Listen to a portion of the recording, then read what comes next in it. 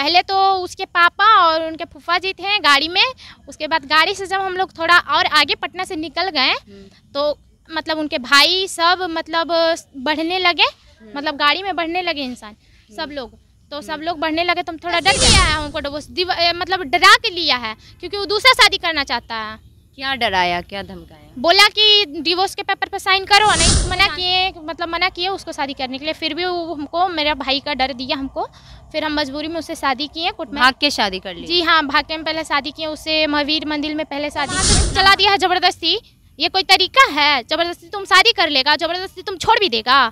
मतलब एक लड़की नहीं कुछ बोल रही है ना कुछ कर रही है तो तुम क्या समझ लिया कि कुछ नहीं कर सकती है? मतलब हम प्रेग्नेंट है। हम्म।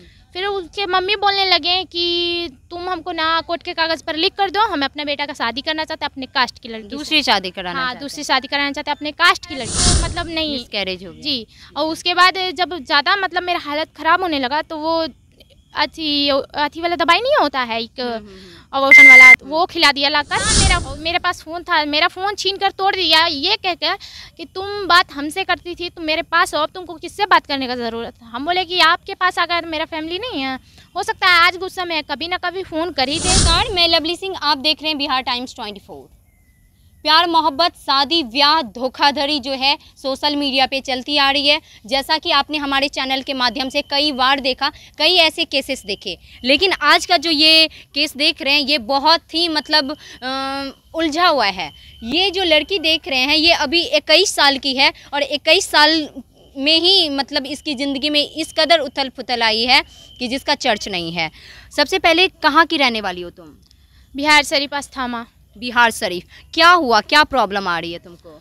देखिए मतलब कि हम एक लड़के से बात करते थे जिसका नाम अभिषेक है और उससे बात करते थे कम से कम तीन साल रिलेशन में उसके साथ रहे। हम्म। तो कहीं मेरा शादी लग गया मेरी फै- मतलब फैमिली शादी अच्छा, करना चाहती शादी दूसरे लड़के से हाँ, लगा दूसरे लड़के फैमिली लगाए। जी हाँ मेरे फैमिली लगाए। तो मतलब हम उस लड़का को नहीं बताएँ इसलिए नहीं बताएँ कि हो सकता है वो लड़का मतलब प्यार करता है तो कुछ भी कर सकता है वो। तो इसलिए हम उसको नहीं बताएँ। तो उसको नहीं बताएँ तो मतलब मेरी फ्रेंड पूछी उससे कि अभिषेक सालू की शादी में आ रहे हो ना? तो वो बोला कि सालू का शादी और हमको बताई भी नहीं। ठीक है हम तुमसे बाद में बात करते हैं। वो मेरे से मेरे पास फ़ोन किया। तो फ़ोन किया हमको बुलाया कि बोलो मतलब बोला कि आओ जो हमको तुमसे काम तो उस लड़के से तुम्हारी शादी वादी की बातचीत हुई थी? जिससे बात करते थे। हाँ। जी नहीं हम शादी नहीं करना चाहते थे उससे हर कोई लड़की बात करती है ये मानते हैं लेकिन हम उससे शादी नहीं करना चाहते थे। अच्छा। इसलिए क्योंकि हम अलग कास्ट हैं वो अलग कास्ट है इसलिए हम शादी नहीं करना चाहते और फैमिली के खिलाफ भी नहीं जाना चाहते थे। और इसीलिए मतलब हम मना किया उसको शादी करने के लिए जब हमसे पूछा कि तुम शादी कर रही हो ऐसा कैसे कर सकती हो तुम किसी मतलब हमसे मेरे साथ तीन साल रिलेशन में रही हो और दूसरे से शादी कर रही हो। तो हम उसको बोले कि ये तो मेरे फैमिली कर रहे हैं तो हम तो कर नहीं रहे हैं। मेरे फैमिली जो कहेंगे वही होगा ना। तो बोला कि मतलब रेलवे लाइन के बगल में ही रहते हैं हम यहाँ पे लाजी टोला में रेंट लेके। तो वहाँ पे मतलब मेरे बालकोनी के सामने ठीक रेलवे लाइन पे आकर पूरा नौटंकी वो स्टार्ट कर दिया कि नहीं शादी करोगे तो मर ऐसे वैसे कर लेंगे। और तुम्हारा सोच लो कि तुम्हारा भी फैमिली मेरे ही गाँव में रहता है। सोचो हम क्या कर सकते हैं। अच्छा और धमका रहा जी और उसके बाद मेरे जानबे करते हो मेरा मतलब पहुँच कहाँ तक है। अच्छा ऐसा बोला उसने। हम्म। उसके बाद फिर हम डर गए कि मतलब सवाल ये नहीं उठता था कि वो हमको बोला कि आएँगे। तो उससे कोई परवाह नहीं था लेकिन बात मेरा फैमिली का था। क्या फैमिली को हार्म करने की धमकी देती जी था? हाँ मेरा भाई छोटा है तो वो कहीं भी खेलना चला जाता है तो उसका डर था। अच्छा। उसका डर था कि हम्म। कुछ कर ना दे। बस इसी का डर था। इसलिए हम उसको मना किए मतलब मना किए उसको शादी करने के लिए। फिर भी वो हमको मेरा भाई का डर दिया हमको। फिर हम मजबूरी में उससे शादी किए कोर्ट में। भाग के शादी कर ली। जी हाँ भाग्य में पहले शादी किए उससे महावीर मंदिर में पहले शादी किए। पटना महावीर मंदिर। हाँ पटना जंक्शन के पास जो महावीर मंदिर उसमें शादी किए।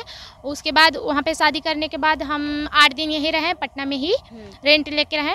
उसके बाद उसका फैमिली का फ़ोन आया तो फैमिली का फ़ोन नहीं उठाता था। तो हम ही उसको एक दिन बोले कि हो सकता है इतना दिन से गायब हो कुछ बात होगा उठा के बात कर लो।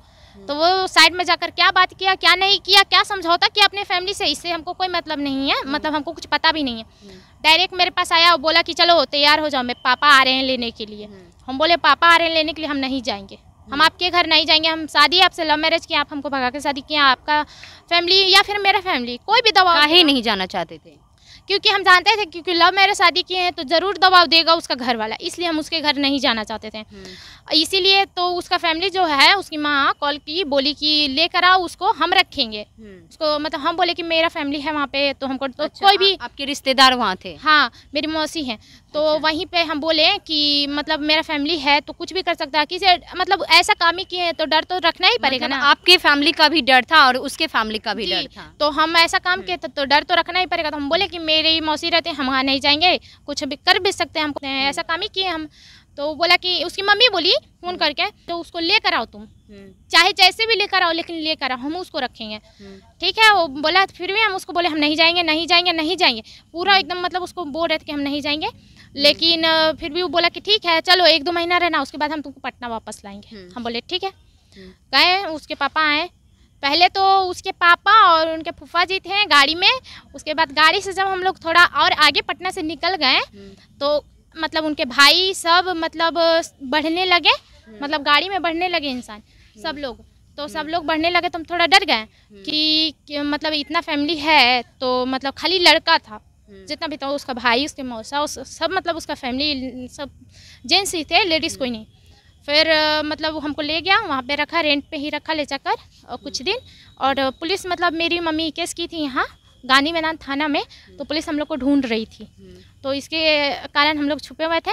उसके बाद क्या हुआ कि वो लोग ना मतलब हम लोग को हिलसा में ले जाके उनके पापा शादी करवाए हम लोग को court marriage. Court marriage. Court marriage शादी करवाएँ उसके बाद कुछ दिन हम लोग सही से रहें मतलब अच्छे से रहें। और उसके बाद उनके फैमिली मतलब कुछ कुछ मतलब बात होने लगा। कि मतलब ये वो उसकी मम्मी उसको भड़काने लगी कि ऐसे है वैसे अच्छी नहीं है। ये वो पूरा बोलने लगे। उसके बाद क्या हुआ ना कि बात पता चला कि मतलब हम प्रेग्नेंट है। हम्म, फिर उसके मम्मी बोलने लगे कि तुम हमको ना कोर्ट के कागज़ पर लिख कर दो हम अपने बेटा का शादी करना चाहते हैं अपने कास्ट की लड़की दूसरी शादी कराना हाँ दूसरी शादी कराना चाहते हैं अपने कास्ट की लड़की से। हम्म, हम बोले कि ऐसा कैसे कर सकते हैं आप? शादी आपका बेटा हमसे किया है तो हम ही को ना रखेगा दो दो को कैसे रख सकता है? हम्म, बोला कि तुम भी रहो और उसको भी ला कर रखेंगे। ये लड़का खुद भी बोला कि हम शादी करेंगे। हम्म, तुमको कोई दिक्कत नहीं होगा उससे। उसको बोले कि मतलब ऐसा हो ही नहीं सकता। जब एक लड़की एक औरत घर में हो और दूसरी आ जाए तो मतलब अच्छे से कोई रह सकता। है हम्म, ये बात तो सही है। कोई भी जानता है सब जानता है। हम्म, लेकिन फिर भी वो लोग हमको टॉर्चर करने लगे मारने पीटने लगे। और पता चला कि हम प्रेग्नेंट है तो बहुत मारे बहुत मारे। और मतलब इस तरीका से माना कि मतलब होठ या फिर माँ कट जाए या होठ मतलब कट तो उनकी मम्मी का कहना था कि दीवार में हम खुद से कर लेते हैं खुद से फूल लेते हैं। हम्म। कौन इतना पागल है कि खुद से अपने को बर्बाद आपका बेबी का क्या हुआ?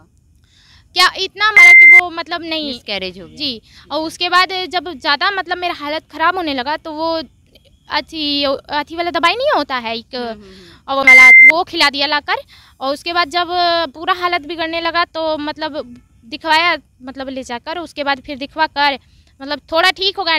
फिर भी डॉक्टर हमको बोला कि ना आपको तो ध्यान रखना चाहिए और खाना टाइम पे खाइए। लेकिन खाना मतलब कि ठीक है खाना कितना तुम देता है लेकिन हर इंसान को अपना अपना शौक होता है है कि नहीं? कोई भी उसका भी फैमिली कोई अगर घर पे आए तो अपनी बहन को पीछे पीछे लगा देता था मेरे। कि अच्छा। जाओ कि वो ना लड़की वो किसी से बात ना कर पाए कुछ बोल ना पाए जो उसको दिक्कत है वो उससे शेयर ना कर पाए। अच्छा। हाँ। आस पड़ोस घर के परिवार किसी से बात किसी नहीं से नहीं हम अपनी आपके फैमिली से बात करने देते नहीं नज़र भी हम नहीं मिलाते थे। अपनी मौसी से नज़र भी हम कभी नहीं मिलाए। बल्कि झगड़ा मम्मी पापा से भी बात करने नहीं देते। नहीं मेरा फ़ोन था मेरा मेरे पास फ़ोन था मेरा फ़ोन छीन कर तोड़ दिया। ये कहकर कि तुम बात हमसे करती थी तुम मेरे पास हो अब तुमको किससे बात करने का ज़रूरत है? हम बोले कि आपके पास आ गया तो मेरा फैमिली नहीं है हो सकता है आज गुस्सा में कभी ना कभी फ़ोन कर ही दे। तो बोला नहीं जो तुम मेरे पास आ गए तो फ़ोन का कोई ज़रूरत नहीं। छीना तोड़ दिया मेरा फ़ोन और सिम भी मेरा तोड़ दिया। उसके बाद भी मतलब उसका भी फ़ोन कभी कभी हम लेते थे चलाने के लिए फ्रेंड से भी नहीं बात करने देता था मेरी किसी फ्रेंड से भी नहीं। उसका फ़ोन भी आ जाता था कभी तो बोल देता था कि सालू नहीं है। कहीं गई है या फिर घर में है नहीं है चाहे हम घर में नहीं है ये करके हमेशा बात को टाल देता था। लेकिन मेरे पेरेंट्स कभी फ़ोन नहीं किए उसके पास। लेकिन फिर भी हम बात करना चाहते थे। तो अब क्या हुआ? अब किस ये कागज़ क्या है और क्या क्या हुआ? ये कागज़ समझौता का है हाँ। कि अब तुम हमको छोड़ दिया मतलब ज़बरदस्ती तुम हमको आपको डाइवोर्स दे दिया। ज़बरदस्ती लिया है हमको ए, मतलब डरा के लिया है क्योंकि वो दूसरा शादी करना चाहता है। क्या डराया क्या धमकाया? बोला कि डिवोर्स के पेपर पे साइन करो नहीं तो तुमको अच्छा। क्या हो जाएगा? आपकी सजा ही ना होगा थोड़ा दिन जेल खट लेंगे। अच्छा ऐसा बोला। ऐसा बोला कि और फिर हम मेरा पहुँच तो है। वैसे भी उसके मौसा जी को लग गया नौकरी लग गया होम गार्ड में लग गया। उनके जीजा जी है ही मतलब पुलिस में है क्या में ये हमको मैं नहीं पता लेकिन उनको भी नौकरी है। घमंड इस बात का और उनके पिताजी टीचर हैं घमंड इस बात का है कि वो लड़की के तो सपोर्ट करने वाला कोई है नहीं। हम्म, तो हम कुछ भी कर सकते हैं। मेरा तो पूरा सब लोग साथ दे ही रहा है सब लोग को साथ दे रहा है उसका समझें? हम्म, और किसी से भी मतलब हम कुछ नहीं कहते थे। मतलब कुछ कहने ही देता ही नहीं था तो कैसे कहते हम्म। जबकि वो भी हम मतलब अब क्या चाहती है? डाइवोर्स देने के बाद क्या आप अभी पटना में भटक रही हैं? आपको वो खर्चा उर्चा दे रहा है? नहीं दे रहा यही तो चाहते हैं कि हम कैसे रहेंगे? हम खर्चा देगा तब ना। एक तो वहाँ से तुम चला दिया है ज़बरदस्ती। ये कोई तरीका है? ज़बरदस्ती तुम शादी कर लेगा ज़बरदस्ती तुम छोड़ भी देगा। मतलब एक लड़की नहीं कुछ बोल रही है ना कुछ कर रही है तो तुम क्या समझ लिया कि कुछ नहीं कर सकती है? खर्चा उर्चा कुछ नहीं देता। कुछ नहीं कैसे जीवन यापन कर रहे हैं आप? अभी तो हम खुद से मतलब एक हॉस्टल खुला है उसमें मतलब बच्चा लोग की देखभाल करते हैं उसी में मतलब हम अपना रह रहे हैं। हाँ। और यही चाहते हैं कि बस जो मेरे साथ किया है वो अगली लड़की के साथ ना करे। अच्छा और- आपसे पहले भी उसकी कोई गर्लफ्रेंड वगैरह थी क्या? जी हाँ मेरे से पहले एक गर्लफ्रेंड थी उसकी जो कि उससे भी बात करता था वो लेकिन वो लड़की मतलब गाँव में हम उसको उसके जाने के बाद हमको पता चला शादी के बाद पता चला कि वो लड़की प्रेग्नेंट थी। अच्छा वो भी प्रेग्नेंट हाँ जी और लड़की कहती थी कि बच्चा तुम्हारा ही है लेकिन वो नहीं मानता था कि बच्चा मेरा है। नहीं मानता था। तो फिर क्या हुआ कि वो लड़की तो बहुत मतलब टूट गई थी एकदम अंदर से। फिर उसके पेरेंट्स उसका शादी कहीं कर दिए तो वो मतलब रह रही है अभी। और उस मतलब गलती तुम लोग किया और बच्चा सचा भुगत रहा है ना। वो तो अपने शादी करके चली गई अपने ससुराल और तुम अच्छे से रह रहे हो। और भोग कौन रहा है? वो बच्चा भोग रहा है ना तुम्हारा जो तुम नलायक औलाद जो पैदा किया वो ना भोग रहा है। बच्चा का क्या गलती था? तो मुझसे शादी तुमको करना अच्छा, चाहिए बात बताइए अब आपको क्या लगता है? अब तो आपके माता पिता भी आपसे बातचीत नहीं करते हैं। हम्म, अब वो भी एक्सेप्ट नहीं कर रहे हैं। क्या लग रहा है लव मैरिज करना कितना सही है और कितना लव मैरिज सबसे गलत काम है। माँ बाप के विरुद्ध जाकर शादी करना? बहुत गलत है। जो कोई भी अगर मतलब कि ये कदम उठाता है तो मतलब वसाइदे किसी का ज़िंदगी संवर रहा है वरना आधा से ज़्यादा का मतलब सौ में से नब्बे परसेंट लड़की का ज़िंदगी बर्बाद हो रहा है। तो देख रहे हैं जो कहानियाँ आपने अभी सुना जो देखा आ, किस कदर ये चीज़ें मतलब प्यार मोहब्बत के जाल में आ, मतलब लड़के हो या लड़कियाँ फंसाते हैं शादी ब्याह तक कर लेते हैं उसके बावजूद भी छोड़ देते हैं। इस तरीके की चीज़ें समाज में चल रही है। इस कहानी को देख करके आपको सीख लेना चाहिए कि अगर आप कोई भी गलती करते हैं चाहे कोई भी रिलेशनशिप में आते तो सोच समझ के आइए। और अगर किसी से शादी, प्यार, मोहब्बत, चलो, अलग बात है, किसी से बातचीत करना, लेकिन शादी ब्याह करके आप मतलब क्या है, भूजा फाँक लिए फेंक दिए? हाँ? अगर वो लड़का गलती किया है तो लड़के को सख्त से सख्त उस पर कार्रवाई की जाए, उसे सज़ा मिलनी चाहिए। बाकी आप क्या सोच रखते हैं, कमेंट बॉक्स में ज़रूर बताइएगा। धन्यवाद, आप देख रहे हैं बिहार टाइम्स ट्वेंटी